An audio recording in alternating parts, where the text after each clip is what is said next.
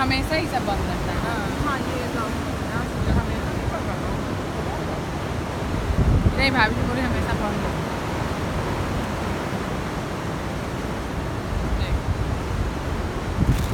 चलिए ऊपर चलते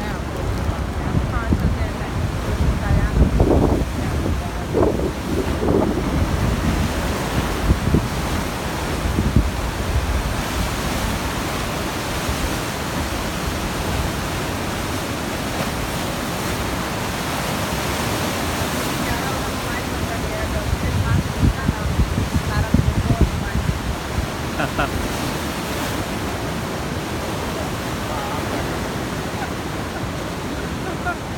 れ、走ってきたけど、だけ。